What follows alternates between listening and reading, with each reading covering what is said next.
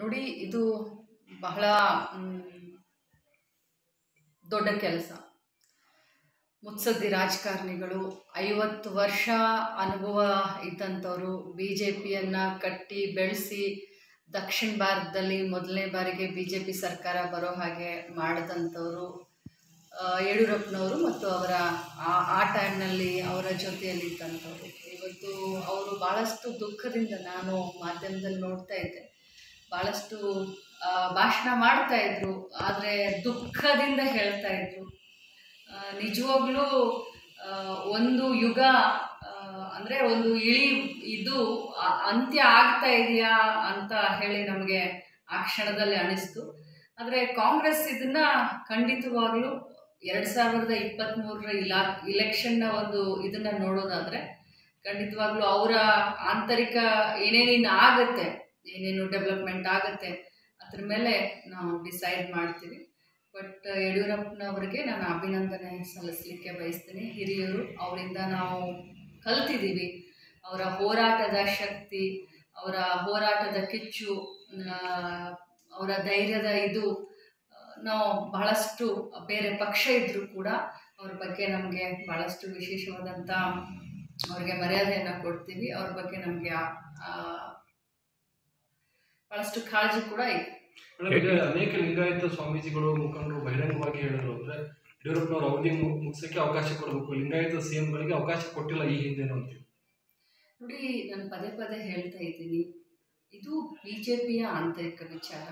ಅದ್ರ ಬಗ್ಗೆ ನಾನು ಕಾಂಗ್ರೆಸ್ ಪಕ್ಷದ ಶಾಸಕಿಯಾಗಿ ಏನು ಮಾತನಾಡಲಿಕ್ಕೆ ಹೋಗೋದಿಲ್ಲ. ಅದು ಅವ್ರ ಪಕ್ಷ. ಒಬ್ಬ ಲೆಜೆಂಡ್ ನಾಯಕನಿಗೆ ಈ ಥರ ವಿರೋಧ ಪಕ್ಷ ಡೆಫಿನೆಟ್ಲಿ ಎಸ್ ಡೆಫಿನೆಟ್ಲಿ ಯಡಿಯೂರಪ್ಪನವರು ಲೆಜೆಂಡ್ ಅಂತ ಹೇಳಲಿಕ್ಕೆ ಪಕ್ಷಾತೀತವಾಗಿ ಈಸ್ ಅ ಲೆಜೆಂಡ್ ಅಂತ ಹೇಳಲಿಕ್ಕೆ ನನಗೆ ಯಾವುದೇ ಒಂದು ಮುಜುಗರ ಆಗೋದಿಲ್ಲ. ಒಳ್ಳೆಯ ಅನುಭವಿಸಿದ್ರು ಹೋರಾಟಗಾರರು. ಅವರ ಹೋರಾಟದ ಮನೋಭಾವ ನನಗೆ ಬಹಳಷ್ಟು ಇಷ್ಟ ಅಂತ ಹೇಳ್ತಾ ಇದ್ದೀನಿ.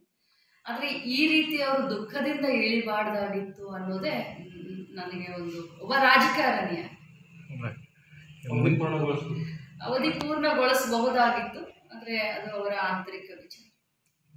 ಮುಂದಿನ ಮುಖ್ಯಮಂತ್ರಿ? ಅದು ಕೂಡ ಅವ್ರಿಗೆ ಬಿಟ್ಟಿರೋ ವಿಚಾರ. ಅವ್ರು ಯಾವ ಮುಂದಿನ ಮುಖ್ಯಮಂತ್ರಿ ಮಾಡ್ತಾರೋ ಆದರೆ ಕರ್ನಾಟಕ ರಾಜ್ಯದಲ್ಲಿ ಪ್ರಸ್ತುತ ಸ್ಥಿತಿ ಕೋವಿಡ್ ಆದಮೇಲೆ ಈಗ ಫ್ಲಡ್ ಇದೆ. ಈ ಸಂದರ್ಭದಲ್ಲಿ ಅವ್ರಿಗೆ ಜನರ ಕಾಳಜಿಕ್ಕಿನ್ನ ರಾಜಕಾರಣ ಜಾಸ್ತಿ ಆಯಿತು. ಅದು ನಮಗೆಲ್ಲರಿಗೂ ಬಹಳಷ್ಟು ಬೇಜಾರಾಗ್ತಾ ಇದೆ. ಯಡಿಯೂರಪ್ಪ ಸಾಹೇಬ್ರನ್ನ ಇಳಿಸ್ತಾರೋ, ಹೊಸ ಮುಖ್ಯಮಂತ್ರಿನ ತಗೊಂಡು ಬರ್ತಾರೋ, ಅದು ಅಲ್ಲ ಈಗ ಪ್ರಸ್ತುತ ಜ್ವಲಂತ ಏನು ಕಷ್ಟ ಇತ್ತು. ಇಂಥ ಸಂದರ್ಭದಲ್ಲಿ ಸಿ ಎಂನ ಚೇಂಜ್ ಮಾಡುವಂತ ಅನಿವಾರ್ಯತೆ ಇತ್ತ? ಅಂದ್ರೆ ಅವರ ಇದು ನಮ್ಮ ಪ್ರಶ್ನೆ. ಅಂದ್ರೆ ಅವರ ಆಡಳಿತ ಅನುಭವವನ್ನು ಬಳಸ್ಕೋಬೇಕಾಗಿತ್ತು ಇಂಥ ಸಂಕಟ ಇದನ್ನ ಅವ್ರು ವಿಚಾರ ಮಾಡಬೇಕು ಆತ್ಮಾವಲೋಕನ ಮಾಡಿಕೊಳ್ಬೇಕು ಇಂಥ ಒಂದು ಸಂದರ್ಭದಲ್ಲಿ. ಯಾಕಂದ್ರೆ ಕರ್ನಾಟಕ ರಾಜ್ಯದ ಜನ ಸಂಕಷ್ಟದಲ್ಲಿರುವಂತ ಸಂದರ್ಭದಲ್ಲಿ ಈ ರೀತಿ ಬದಲಾವಣೆಯಿಂದ ಆಡಳಿತದಲ್ಲಿ ಏನು ಒಂದು ವೇಗ ಇರುತ್ತೆ ಒಂದು ಚುರುಕಿರುತ್ತೆ ಅದೆಲ್ಲೋ ಒಂಥರ ಕಟ್ಟಾದಂಗಾಗುತ್ತೆ ಇನ್ನ ಹೊಸ ಮುಖ್ಯಮಂತ್ರಿಯವರು ಬರ್ತಾರೆ. ಅವ್ರು ಇದಕ್ಕಿನ್ನ ಒಳ್ಳೆ ಕೆಲಸ ಮಾಡ್ತಾರೋ ಇದಕ್ಕಿನ್ನ ಇದನ್ನ ಮಾಡ್ತಾರೋ ದಟ್ ಈಸ್ ಡಿಫ್ರೆಂಟ್ ಬಟ್ ಈ ಸಂದರ್ಭದಲ್ಲಿ ಮಾಡಿದ್ದು ಯಾಕೋ ನನಗಂತೂ ಸರಿ ಆಡಳಿತಕ್ಕಿಂತ ಅಧಿಕಾರ ಮುಖ್ಯ ಅನ್ನಿಸ್ತು ಬಿಜೆಪಿ ಅವರಿಗೆ ಆಡಳಿತಕ್ಕಿಂತ ರಾಜಕಾರಣ ಮುಖ್ಯ ಬಿಜೆಪಿ.